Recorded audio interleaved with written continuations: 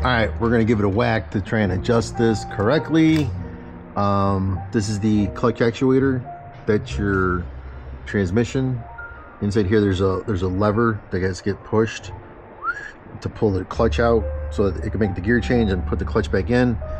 So I was having a problem with I think this was too far out. So this this lever when it when the plunger goes inside of the inside the it wasn't pushing the clutch all the way out where it needed to be. So it wasn't it was just crappy. I wasn't getting a whole lot of torque. So I set it up just by hand. The manual says you have to like make it touch and then you got to get the three lines. I don't see, I don't know if you guys can tell, but I don't see where the three lines are at. I don't see any three lines anywhere. So I'm just gonna mark, I got a fine, fine point marker. I'm gonna mark where the bolt is, right? And this is like my new, this is where the car's running pretty good. Ah, it's probably not that great. Let me get, let me get a different marker. All right, so we're gonna grab this better marker here. And my new line is roughly about here. Right? So that's pretty much in line with the bolt. Same thing over here. This moved over about an eighth of an inch I'm gonna say. So this is my current line. This is the line that actually works. I think works with the car um yeah. This is the the first line this is this first line is where it was where it wasn't shifting right. Then I moved it in to this line and it seems to be working pretty better a lot better. So let's try and mark this guy here.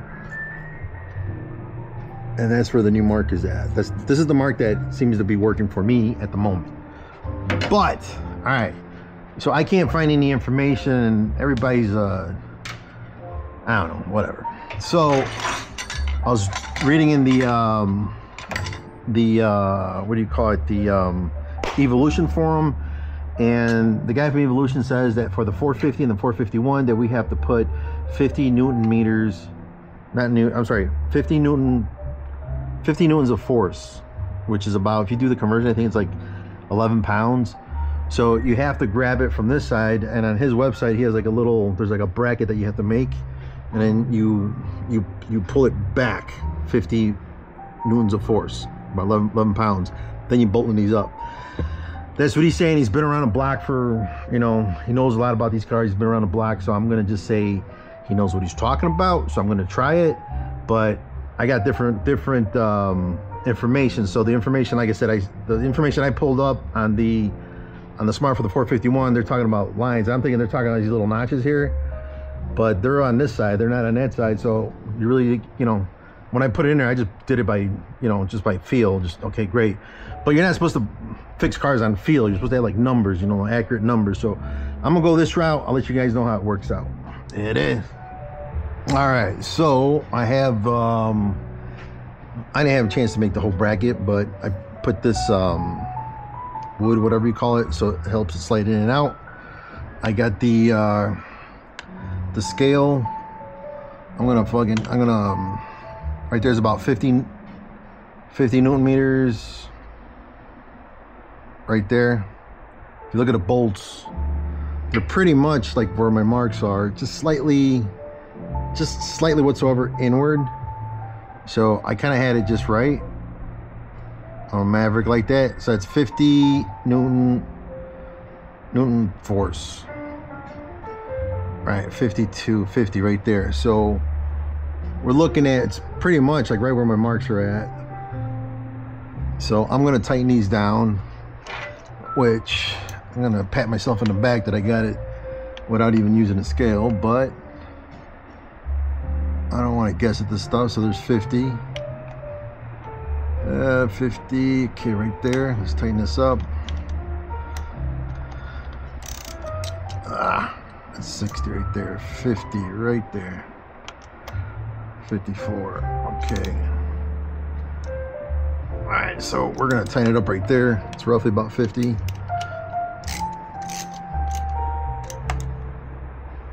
okay. All right let's get the one over here. Let me turn this off or blind uh, blind you people. Actually I'll show you guys. There's one back over here you can tell, if my camera's actually getting it, but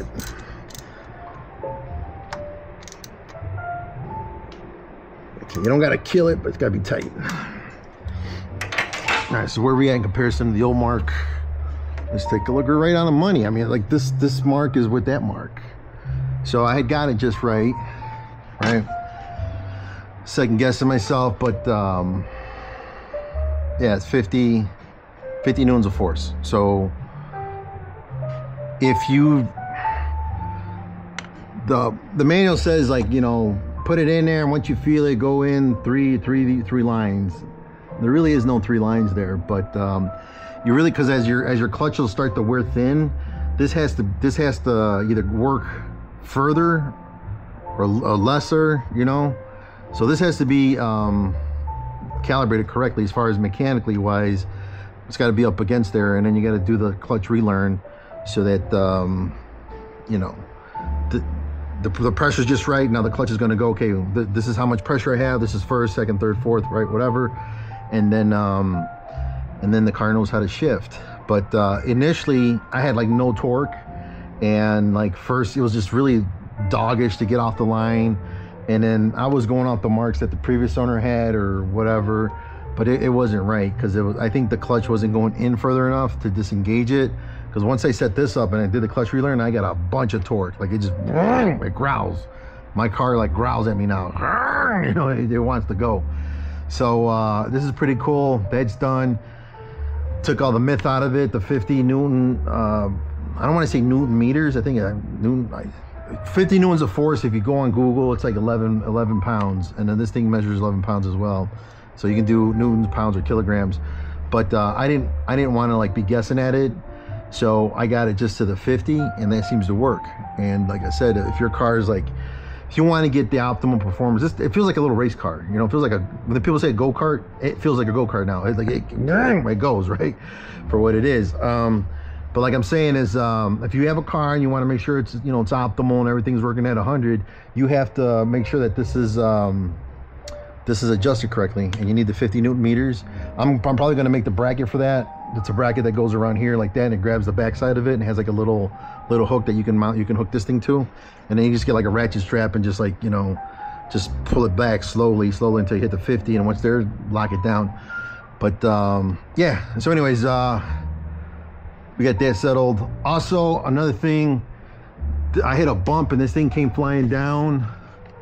This is like the wind guard and i think the previous owner must have hit something or, or he changed the lights over here the fog lights and he never put the screw in so that's missing. So i got to figure out how to make a bracket so i get the screw in there because i don't want this thing coming down.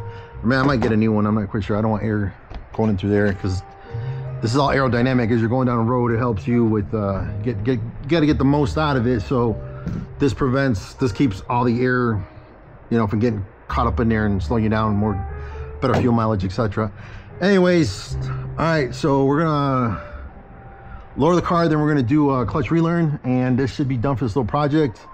Um there you go